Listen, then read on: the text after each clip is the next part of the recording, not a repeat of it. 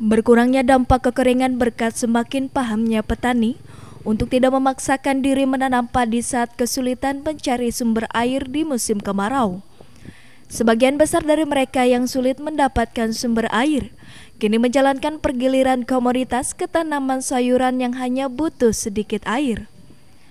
Selain itu di beberapa wilayah yang masih memiliki sumber air, Distan sudah menyalurkan bantuan pompa dan pembuatan sumur sehingga para petani masih bisa menanam padi.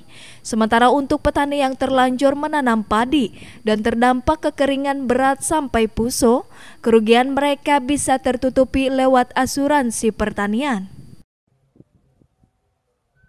Menurut Kepala Dinas Pertanian Kabupaten Bandung Tisna Umaran, Pihaknya tak menampik jika kesadaran petani untuk tak menanam padi saat kesulitan air berdampak pada hilangnya potensi hasil panen tahun ini. Dirinya melansir ada potensi 1.675 ton padi yang tak bisa diraih tahun ini akibat kekeringan. Sampai saat ini masih masih terjadi kekeringan ya. Oleh karena itu uh, upaya kita lakukan terus kita uh, bergerak dengan teman-teman tim di lapangan. Uh, pertama menyelamatkan standing crop ya. Jadi tanaman-tanaman yang masih membutuhkan air, kemudian ada sumber airnya, kita baku bagaimana supaya itu bisa terselamatkan.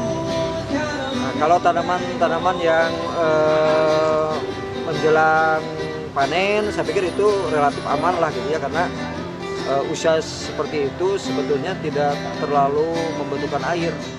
Untuk meminimalisir potensi yang hilang, Tisna menegaskan bahwa pihaknya akan mendorong percepatan tanam menjelang musim hujan di beberapa wilayah, terutama di Kecamatan Bale Endah yang telah disiapkan sekitar 150 hektar.